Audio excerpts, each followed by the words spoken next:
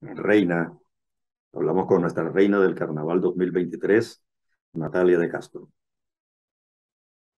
Cuando asistimos al desfile del Carnaval de los Niños, en el Carnaval de Barranquilla, y vemos a estos chiquilines bailando como unos verdaderos maestros, o vemos a los bebés en sus cochecitos bailando los ojos al compás de la música mientras son llevados por sus padres o por sus abuelos, comprendemos que el carnaval nunca va a desaparecer. ¿Cuál es el primer recuerdo que usted tiene, Reina, del carnaval de Barranquilla?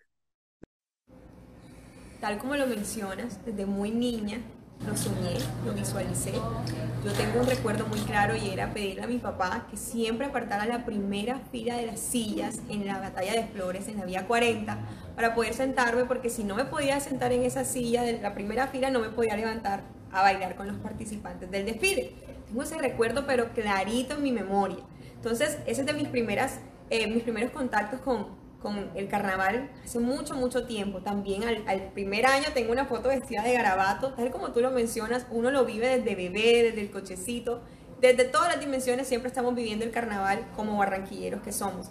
Eh, entonces lo visioné de muy niña y bueno, ya grande, hace un tiempo dije, ya estás grande, estás preparada, eres una mujer que puede lograrlo, atrévete, sueñalo y cúmplelo. Y mira, Dios me lo permitió.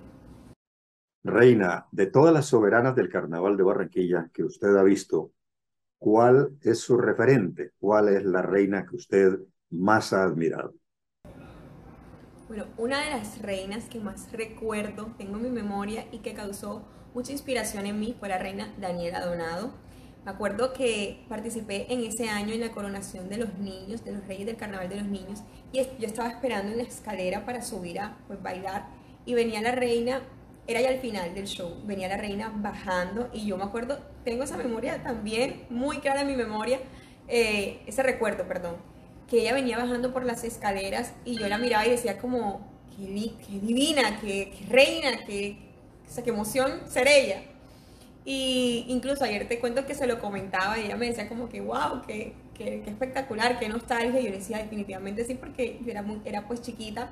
Me acuerdo de ella bajando y, y hoy en día poder hablar con ella, decirle, te admiraba, te, te miraba, me inspiraste, que son momentos muy especiales que quedarán por siempre marcados en, en mí y en lo que soy.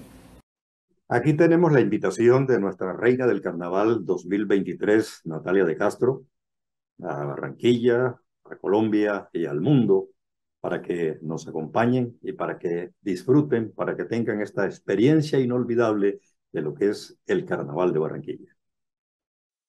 Bueno, la invitación es a todos, todos los que me están viendo a que se vivan este carnaval conmigo de principio a fin los espero a todos aquí en esta ciudad, en la ciudad más bonita del mundo, en Barranquilla, del 18 al 21 de febrero del 2023, para que nos gocemos y nos disfrutemos esta fiesta que nos llena de tanto orgullo.